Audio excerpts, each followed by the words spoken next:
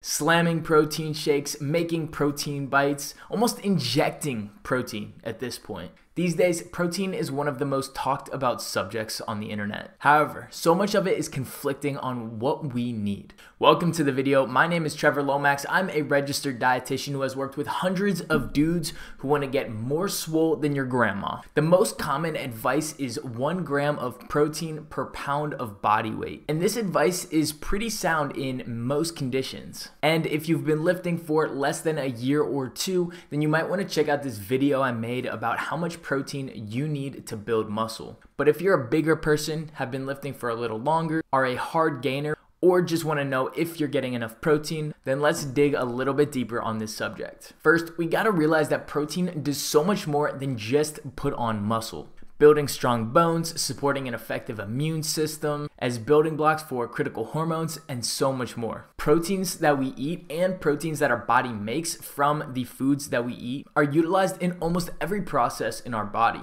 I like to think of them like Santa's elves, building toys for the boys. And by toys, I mean gains, and by boys, I mean men. Now, we also need to think about protein quality. Each protein has a PDCAAS, or Protein Digestibility Corrected Amino Acid Score. Hmm, well, that's a mouthful. This is essentially how well your body digests and absorbs a protein from a specific food meaning the protein in a piece of bread is not equivalent to the protein in a piece of juicy steak. And that protein in a steak is made up of a combination of amino acids that is more similar to human muscle.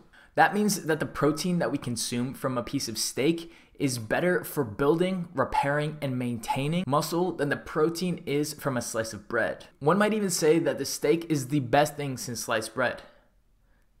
anyway, so let's say you are deep in a bulk and you've been increasing your calories steadily. Maybe you started with one gram of protein per pound of body weight and kept it there, even though you've been increasing your carbohydrates and your fats to provide enough energy to continue making those gains. This means that more and more of that protein goal that you set is coming from those small amounts of protein in grains, breads, cereals, fats, fruits, vegetables, etc. And the protein from those foods are harder to digest and absorb, and the amino acid composition is less similar to human muscle. So, this is a perfect example of a time when we would want to increase over that one gram of protein per pound of body weight so that we can get the correct amino acids that our body needs in order to continue building muscle and keep that gains train rolling. So, how much more do we want to increase it by? As of now, there's no research telling us how much more we want. So, a lot of this is based off of my personal experience and what I've experimented with so far. Personally, I'd start adding about 20 grams of protein each time I increased my calorie goal. So, if my bulk started off at 3,000 calories and I moved it up to 3,300 calories,